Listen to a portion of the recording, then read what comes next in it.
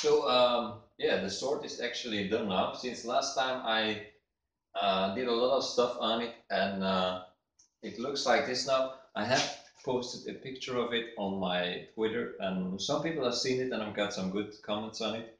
And uh, this is now actually almost finished. The only thing I need to put on it is um, whoa,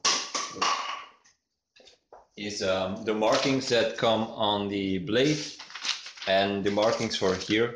And I will need to make this uh, out of my head or I don't actually have them uh, drawn out on a piece of paper or something. And I'm just gonna put them here and uh, it's gonna look really cool. So that's what I still need to do, but it really, really looks cool. And uh, yeah, so this is what I have and it's all from foam. So doesn't weigh nothing and it's really really light. And it's still actually really uh, strong.